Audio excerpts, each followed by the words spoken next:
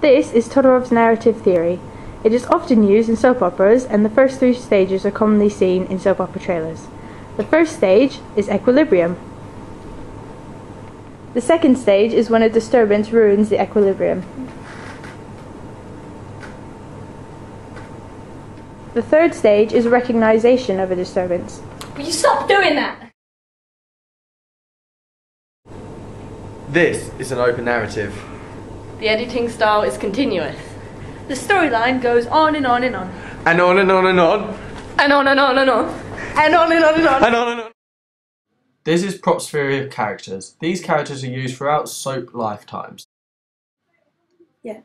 These characters include the hero, the one who saves the day, the villain, the one who causes the disturbance, the princess, usually the damsel in distress, the dispatcher, who sends a hero on his journey, the false hero, a villain disguised as a hero, the donor, the one who gives an item to the hero, and the helper, usually the hero's sidekick. In soap operas, conventional angles are used. This is a two-shot. It shows both people in the conversation. This is a mid-shot to show the emotion. This is an over-the-shoulder shot to show the other character's reaction. And this is a close-up to show the real deep emotion.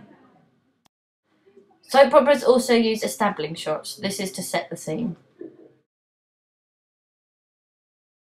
Soap opera conventional locations include pubs and cafes in order to create verisimilitude and realism for the audience. Artificial lighting in soap operas is used to create the right atmosphere when there isn't enough natural lighting.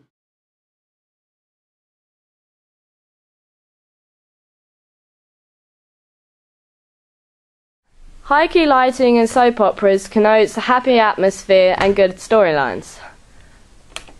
On the other hand, low key lighting connotes violence or danger and is often used for more sinister themes.